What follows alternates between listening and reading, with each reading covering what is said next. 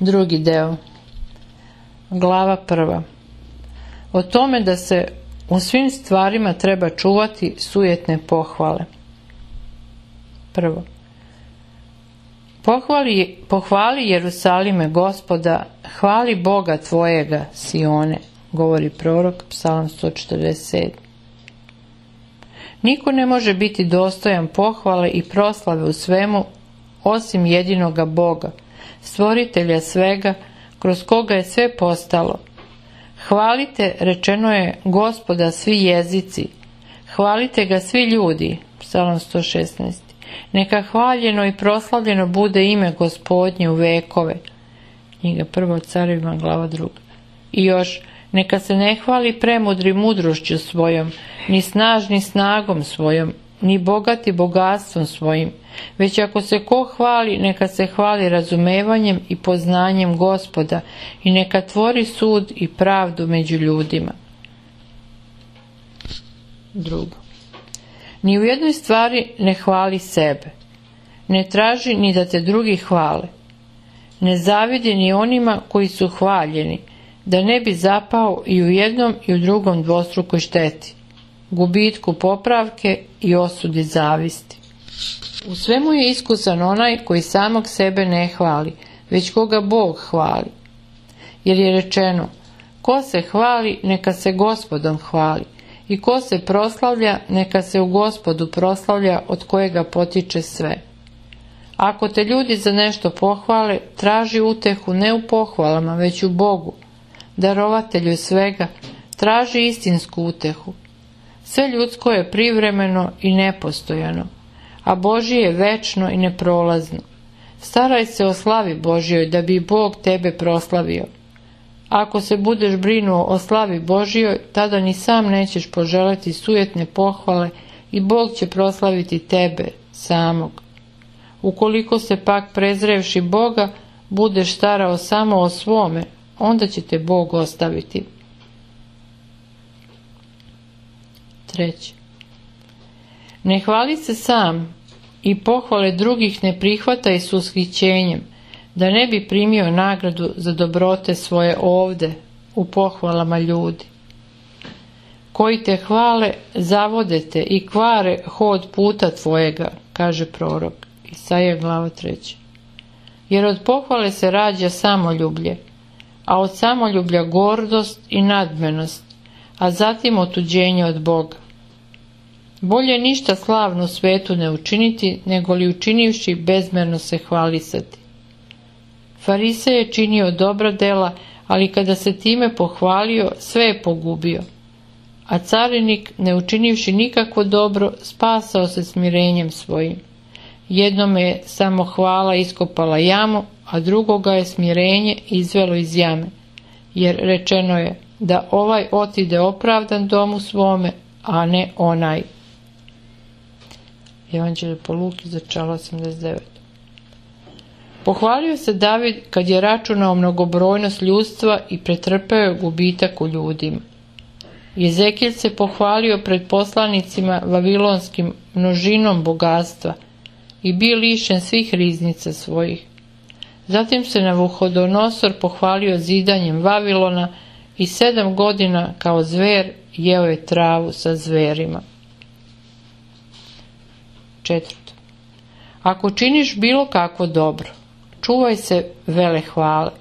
A ako se pohvališ, odjednom ćeš hvalisavošću svojom pogubiti sve, što si trudom stekao i lišit ćeš se blagodati Božije, jer od hvaljenja proizilazi uznošenje, od uznošenja pad, a pad je od Boga otuđenje.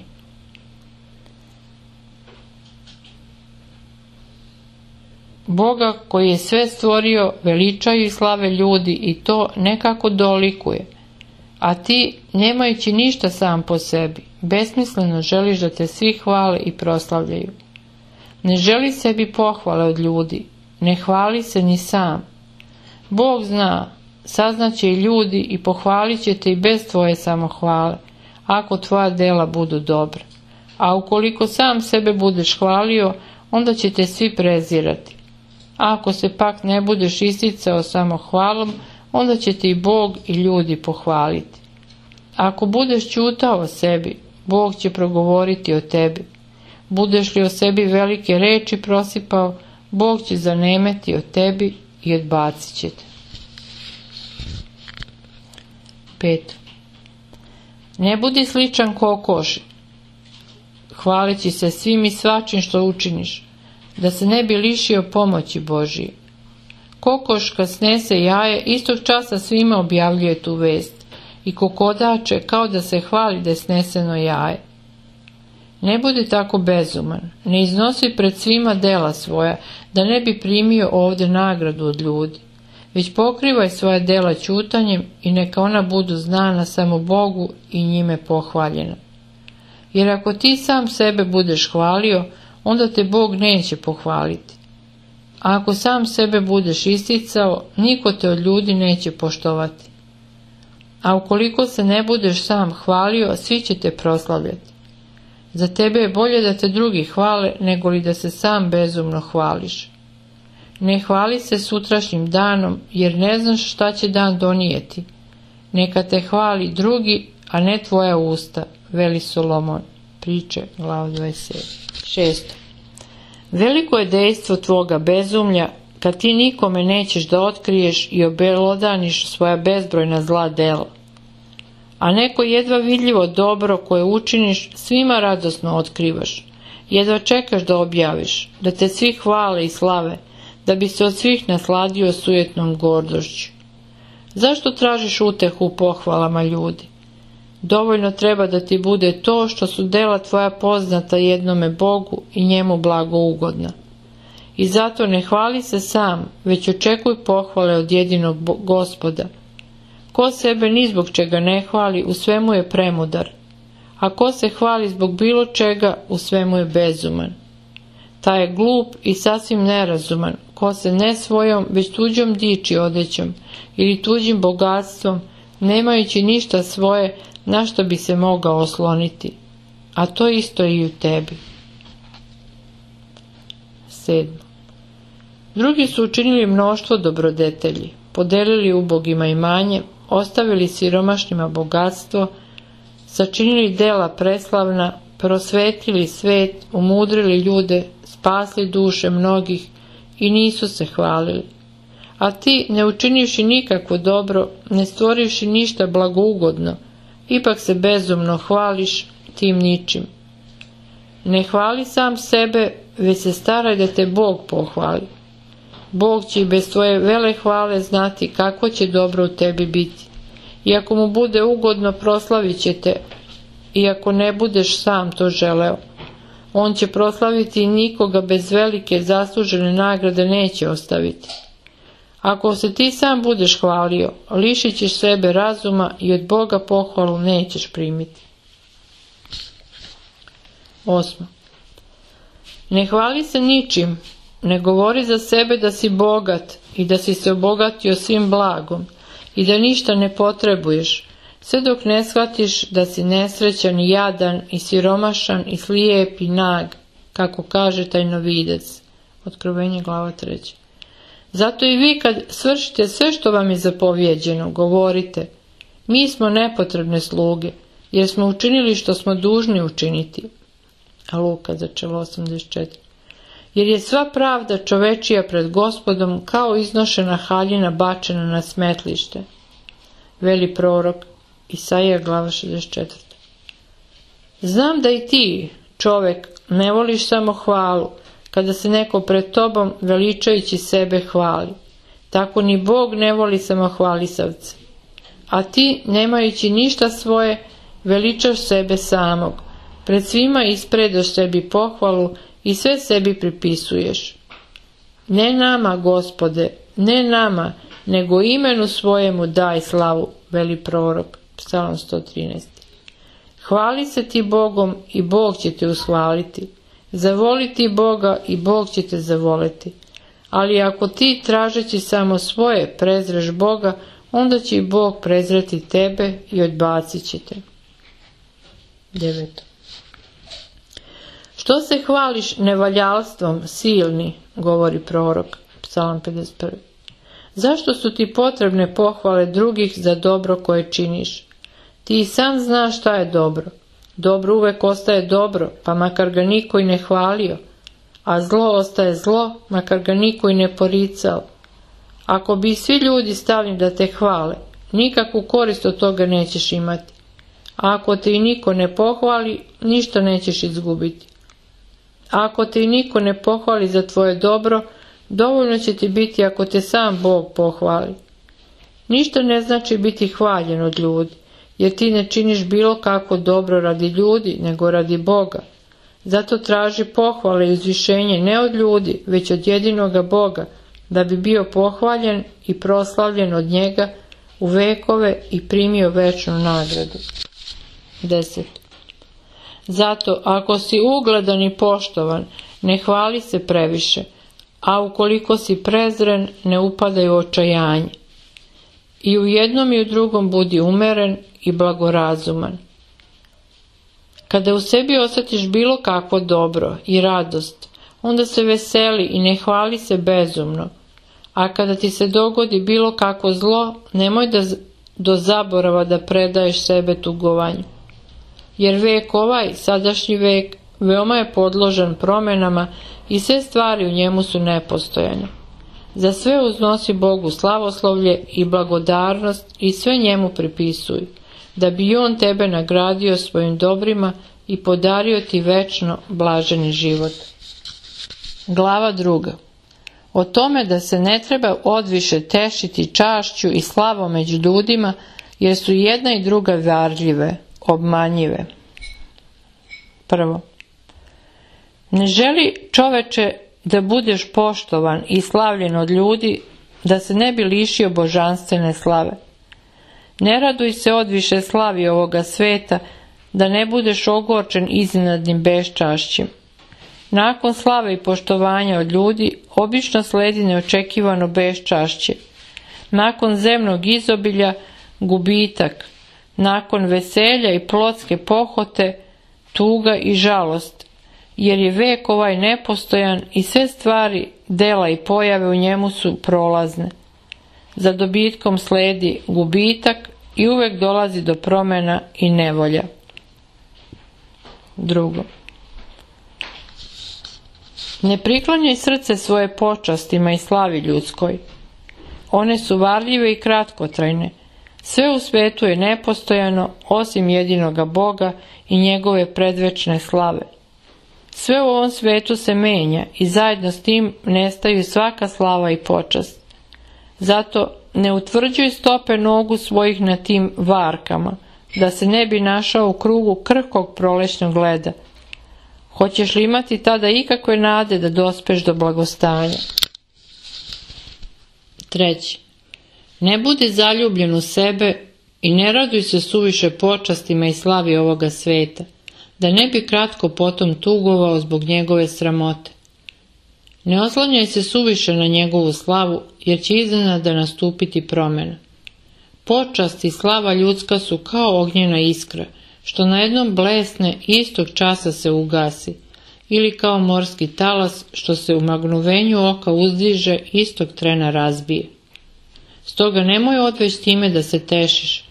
Ko se bezumno ushićuje častima i uspesima u ovome svetu, neka zna da će iznenada zatim, kada dođe do promjene, upasti u nepovratnu tugu.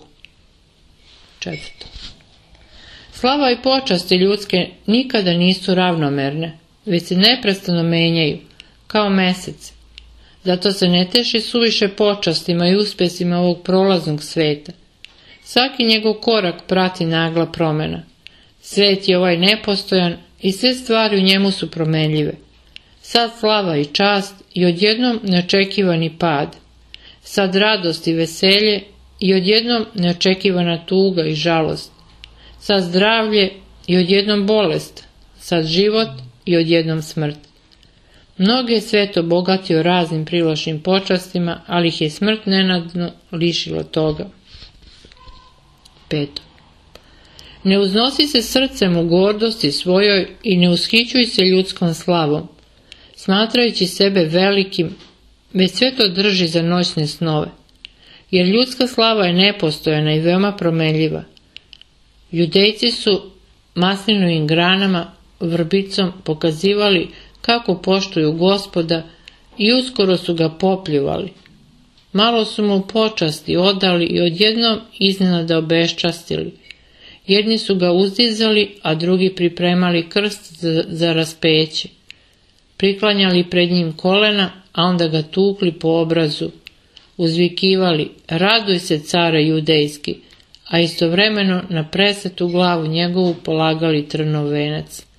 Takve su slava i časti ljudske.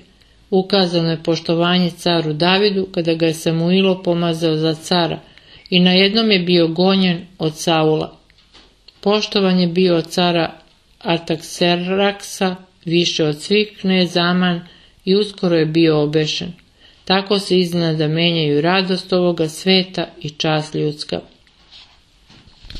6. Zlolukav je svet i njegove počasti. Kada je čovjek uspešan i uticajan, tada ga svi poštuju i slave, a kada je u nemilosti, svi ga izbegavaju. Kada čovjek napreduje, tada je okružen mnoštvom prijatelja i laskavaca ili ulizica, a kada je u nevolji, svi su daleko od njega. Apostoli su, dok je Hristos od svih bio hvaljen i obasipan divljenjem, svi išli u stopu za njim, a kada je on stradao, svi su ga ostavili i pobegli daleko.